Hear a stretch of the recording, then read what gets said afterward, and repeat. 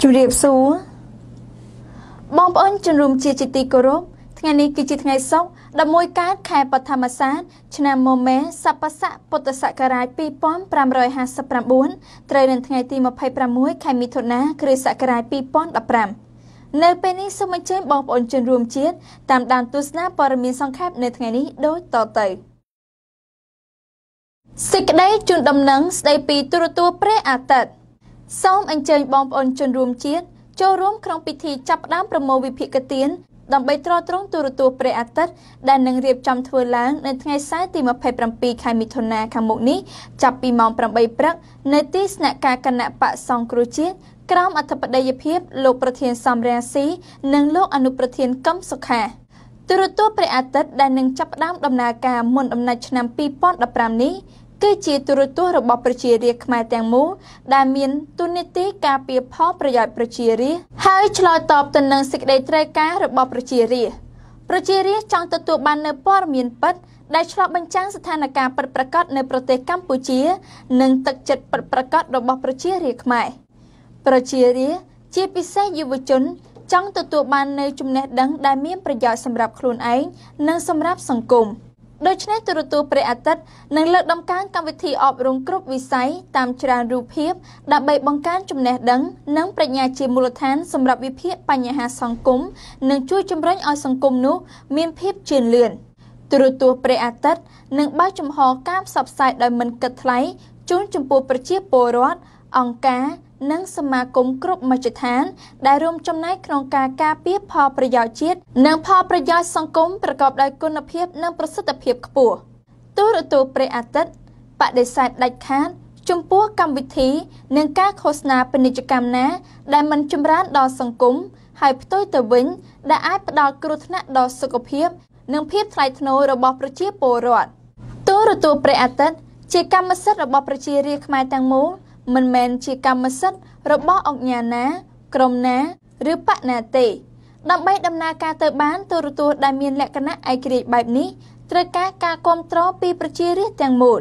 សូមបងប្អូនជនរួមជាតិជួយផ្ដល់ជីវភាពកទៀនទោះជាច្រើនក្តីតិចក្តីតាមលទ្ធភាព និងតាមសទ្ធារបស់បងប្អូនម្នាក់ម្នាក់ដើម្បីត្រត្រង់ទូរទស្សន៍ព្រះអាទិត្យរបស់យើងទាំងអស់គ្នា។ ចំនួនទឹកប្រាក់ដែលផ្ដល់ដល់ប្រជាពលរដ្ឋម្នាក់ម្នាក់មិនសំខាន់ទេ អ្វីដែលសំខាន់គឺទឹកចិត្តរបស់អ្នកដែលផ្ដល់វិភាគទាននេះទោះបីជាវិភាគទានតែ100រៀលលុយខ្មែរក៏មានតម្លៃលើសលប់ក្នុងការរៀបចំគម្រោងនេះទូរទស្សន៍ព្រះអាទិត្យនឹងដំណើរការទៅបានកាន់តែឆាប់ពេលអ្នកដែលមានប្រជាពលរដ្ឋយ៉ាងច្រើនកកកទូទាំងប្រទេសផ្ដល់ជាវិភាគទានម្នាក់បន្តិចម្នាក់បន្តិចដើម្បីទ្រទ្រង់ទូរទស្សន៍ព្រះអាទិត្យរបស់យើងទាំងអស់គ្នា។ នៅថ្ងៃសៅរ៍ទី27មិថុនាខាងមុខនេះអ្នកទទួលខុសត្រូវទូរទស្សន៍ព្រះអាទិត្យនិងអ្នកឯកទេសក្នុងវិស័យទូរទស្សន៍នឹងធ្វើឧទ្ទិសនាមដើម្បីបំភ្លឺប្រជាពលរដ្ឋឲ្យកាន់តែច្បាស់ថែមទៀតស្ដីអំពីដំណើរការឈានទៅមុខនៃទូរទស្សន៍ព្រះអាទិត្យក្រុមតំណាងរាជគណៈបកសង្គ្រោះជាតិប្រកាន់ជំហរទៀមទា6ចំណុចជុំវិញបញ្ហាព្រំដែនក្រុមតំណាងរាជគណៈបកសង្គ្រោះជាតិកាលពីថ្ងៃទី25ខែមិថុនាឆ្នាំ2015ម្សិលមិញនេះ បានប្រកាសប្រកាន់គោលជំហរ6ចំណុចជុំវិញបញ្ហាព្រំដែនរវាងប្រទេសកម្ពុជានិងប្រទេសវៀតណាមការប្រកាសនេះបានធ្វើឡើងនៅក្នុងសេចក្តីថ្លែងការណ៍ចុះថ្ងៃទី25ខែមិថុនាឆ្នាំ2015របស់ក្រុមតំណាងរាជគណៈបកសង្គ្រោះជាតិដោយសរសេរថាតកតងទៅនឹងបញ្ហាព្រំដែនក្រុមតំណាងរាជសូមប្រកាន់ជំហរដូចជា1ទាមទារឲ្យក្រសួងការបរទេសកំណត់ការបដិឆេទច្បាស់លាស់ឲ្យវៀតណាមឆ្លើយតប2 ទាមទារឲ្យរដ្ឋាភិបាលត្រូវតែផ្ដល់ផែនទីដែលប្រើប្រាស់សម្រាប់បោះបង្គោលព្រំដែនកម្ពុជាវៀតណាមនិងនីតិវិធីបោះបង្គោលព្រំដែនជូនដល់ប្រជាពលរដ្ឋដោយអនុលោមទៅតាមរដ្ឋធម្មនុញ្ញ3ទាមទារឲ្យបង្កើតគណៈកម្មាធិការចម្រុះកិច្ចការព្រំដែនរួមមានសមាជិកមកពីគណៈបកដែលមានអាសនៈនៅក្នុងរដ្ឋសភា អង្គការសង្គមស៊ីវិលនិងអ្នកបច្ចេកទេសខាងព្រំដែន4 ទាមទារឲ្យរាជរដ្ឋាភិបាលផ្អាកជាបណ្ដោះអាសន្ននៃការបោះបង្គោលព្រំដែនរហូតដល់បង្កើតគណៈកម្មាធិការចម្រុះ5ទាមទារឲ្យរាជរដ្ឋាភិបាលប្តឹងទៅតុលាការយុត្តិធម៌អន្តរជាតិ6ទាមទារឲ្យរដ្ឋសភាក៏ប្រជុំអនុម័តលុបសន្ធិសញ្ញាបំពេញបន្ថែមឆ្នាំ2005ដោយយកមាត្រា2មាត្រា55និងមាត្រា90រដ្ឋធម្មនុញ្ញនៃព្រះរាជាណាចក្រកម្ពុជាឆ្នាំ1993និងកិច្ចព្រមព្រៀងទីក្រុងប៉ារីសថ្ងៃទី23ខែមិថុនាឆ្នាំ1991តកតងទៅនឹងបញ្ហាព្រំដែនជាមួយប្រទេសវៀតណាមនេះដែរកាលពីព្រឹកថ្ងៃទី25មិថុនាម្សិលមិញនេះលោកកឹមសុខាអនុប្រធានគណៈបកសង្គ្រោះជាតិអះអាងថាលោកសាទរចំពោះចំណាត់ការរបស់រដ្ឋាភិបាលនៅពេលនេះជំវិញបញ្ហាព្រំដែន ក៏ប៉ុន្តែការចេញកំណត់ទូតនេះត្រូវបានមេដឹកនាំជាន់ខ្ពស់គណៈបកសង្គ្រោះជាតិចាត់ទុកថាមិនទាន់គ្រប់គ្រាន់នៅឡើយទេ សម្រាប់រដ្ឋាភិបាលចាំបាច់ត្រូវប្រើប្រាស់យន្តការច្បាប់អន្តរជាតិដែលមានតម្លៃជាសកល ដើម្បីជំរុញឲ្យវៀតណាមគោរពនៅអធិបតេយ្យភាព និងបូរណភាពទឹកដីរបស់ប្រទេសកម្ពុជាលោកកឹមសុខាបន្តថារឿងដែលរដ្ឋាភិបាលត្រូវលើកទៅដោះស្រាយនោះគឺតាមរយៈយន្តការអន្តរជាតិ ដូចជាត្រូវកោះហៅសមាជិកនៃកិច្ចព្រមព្រៀងទីក្រុងប៉ារីសស្ដីពីកម្ពុជាឡើងវិញនិងជំរើសចុងក្រោយគឺតុលាការយុត្តិធម៌អន្តរជាតិ ICJ បើទោះជាបែបណានៅក្នុងបណ្ដាញសង្គម Facebook របស់លោកហៅណាំហុងឧបនាយករដ្ឋមន្ត្រីនិងជារដ្ឋមន្ត្រីក្រសួងការបរទេសកាលពីថ្ងៃទី24មិថុនាបានសរសេរថា នៅក្នុងជំនួបទ្វេភាគីកាលពីថ្ងៃទី23ខែមិថុនាជាមួយនឹងអនុរដ្ឋមន្ត្រីការបរទេសវៀតណាមលោកបានស្នើឲ្យវៀតណាមត្រូវអនុវត្តគោលការណ៍ដោយដែលបានកំណត់នៅក្នុងសេចក្តីប្រកាសរួមកាលពីថ្ងៃទី17ខែមករាឆ្នាំ1995រវាងកម្ពុជានិងវៀតណាមបន្ថែមពីលើនេះស្នើឲ្យភាគីវៀតណាមកុំធ្វើអ្វីនៅក្នុងតំបន់ដែលពុំទាន់បានបោះបង្គោលព្រំដែននៅឡើយជុំវិញរឿងនេះដែរ លោកអ៊ីសាអូស្មានតំណាងខ្មែរអ៊ីស្លាមធ្លាប់បានអះអាងថា ប្រវត្តិនៃការបាត់បង់នគរចម្ប៉ាកាលពីជាង400ឆ្នាំមុននោះ គឺរូបភាពដោយវៀតណាមធ្វើមកលើកម្ពុជាសពថ្ងៃកាលនោះវៀតណាមព្យាយាមរំកិលព្រំដែនតាមលទ្ធភាព រហូតបានសម្រេចជោគជ័យទាំងស្រុងនាសម័យកាលនោះ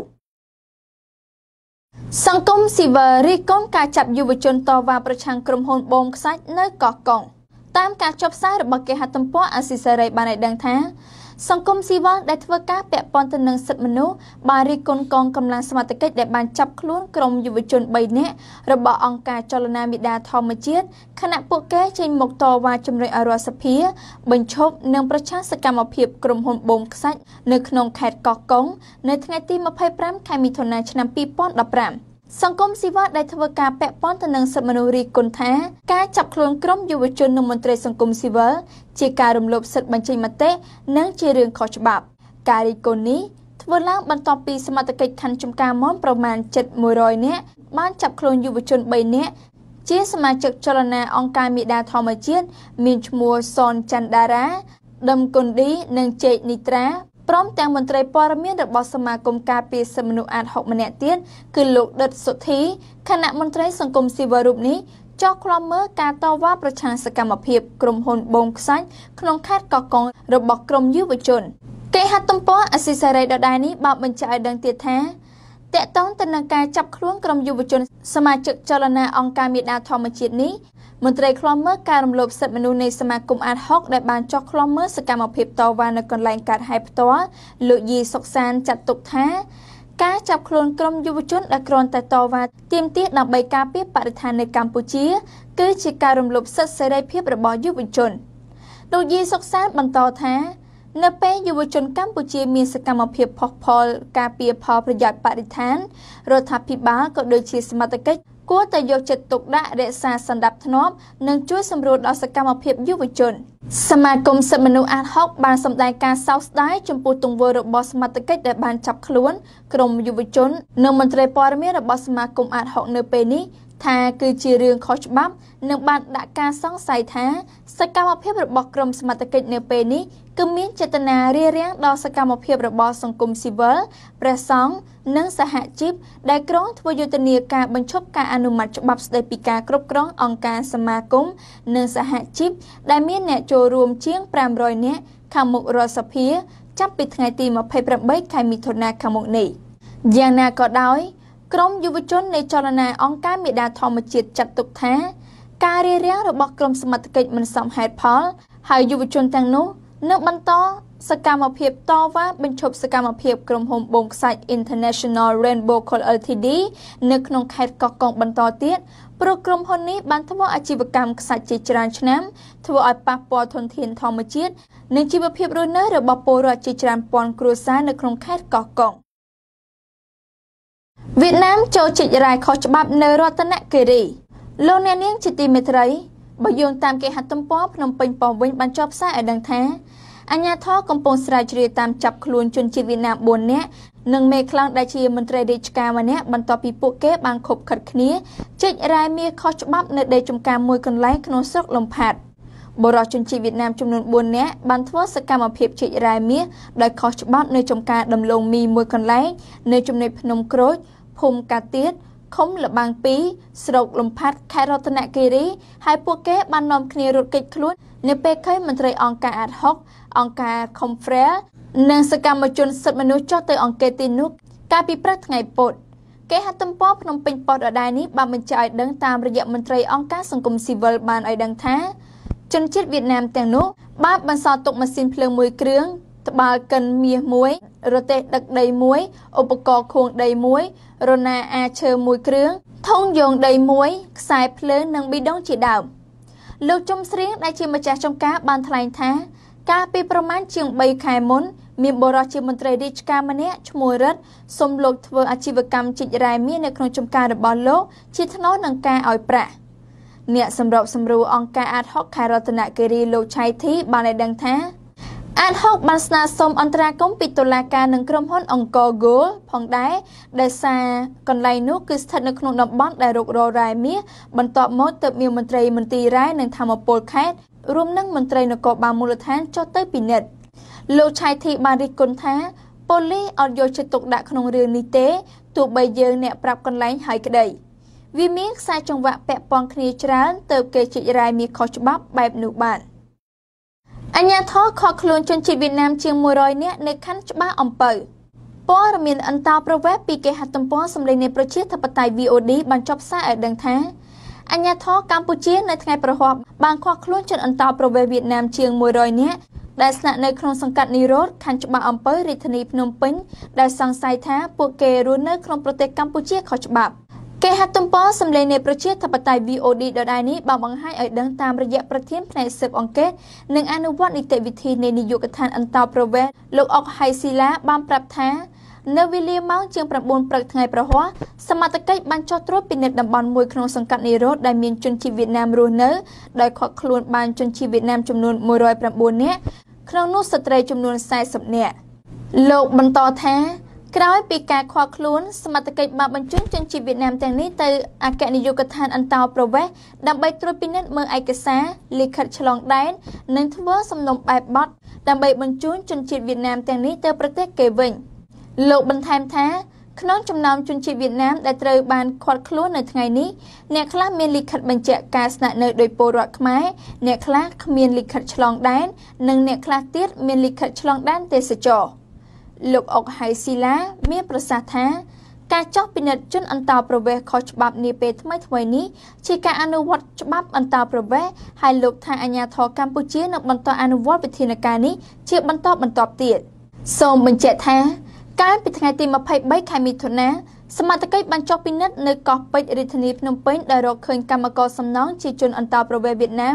131នាក់ដែលក្នុងនោះប្រហែល100នាក់ពុំមានលិខិតឆ្លងដែននិងជនជាតិចិនជាង80នាក់ព័ត៌មានជាតិដែលជម្រាបជូនដោយនាងខ្ញុំរស់មារយានៅពេលនេះសូមបញ្ចប់ត្រឹមតែប៉ុណ្ណេះជាបន្តទៅទៀតសូមតាមដានព័ត៌មានអន្តរជាតិ អ្នកនេសាទហ្វីលីពីនហ៊ានប្តឹងចិននៅ UN ជុំវិញសំណុំរឿងសមុទ្រចិនខាងត្បូងលោកអ្នកនាងជាទីមេត្រីងាកមកឯព័ត៌មានអន្តរជាតិពីគេហទំព័រថ្មីថ្មីបានចុះផ្សាយឲ្យដឹងតាមរយៈក្រុមអ្នកនេសាទហ្វីលីពីនបាននាំគ្នាបញ្ជូនញត្តិប្រឆាំងនឹងចិនដែលវាទីនៅក្នុងដែនជម្លោះសមុទ្រចិនខាងត្បូងទៅកាន់អង្គការសហប្រជាជាតិ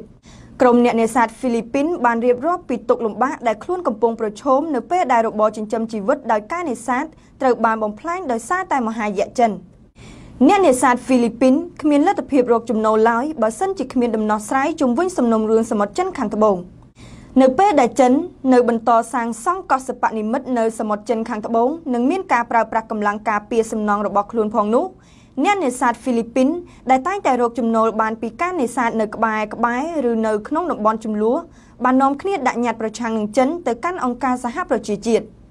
ការចេញមុខប្តឹងចិនដោយខ្លួនឯងនេះ កើតឡើងដោយសារតែមិនមានចំណាត់ការអ្វីធំដុំត្រូវបានគេដាក់ញត្តិដើម្បីបញ្ឈប់សកម្មភាពក្រុងប៉េកាំងនៅតំបន់ចំនួននោះឡើយ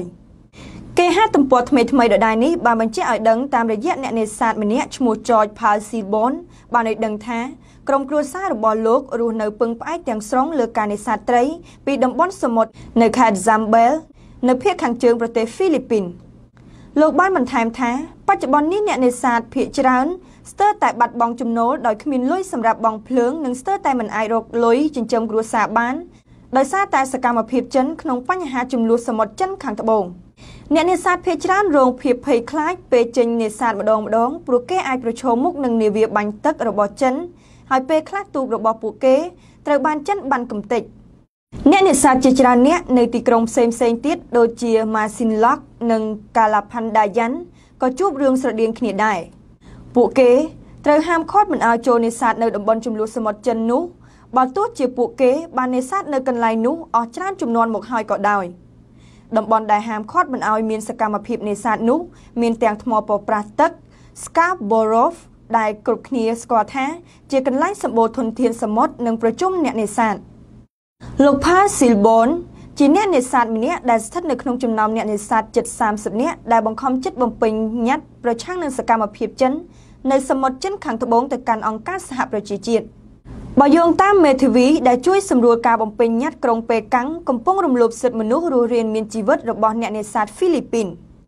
សកម្មភាពឯកតោភាគីរបស់ចិនក្នុងតំបន់ចំនួនកំពុងរំលោភសិទ្ធិអ្នកនេសាទដែលធ្លាប់ទាញផលប្រយោជន៍តាមប្រពៃណីនៅសមុទ្រចិនកន្លងមកអស់រាប់ទសវត្សរ៍មកហើយ គេសង្ឃឹមថា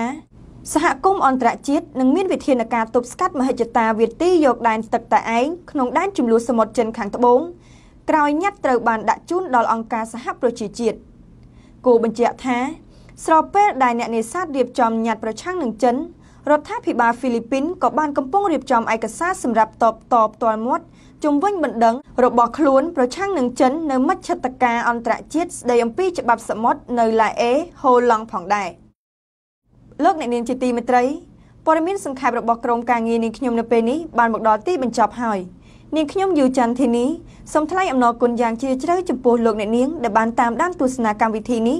តាំងពីដើមរហូតដល់ទីបញ្ចប់ សូមអរគុណសូមគោរពលា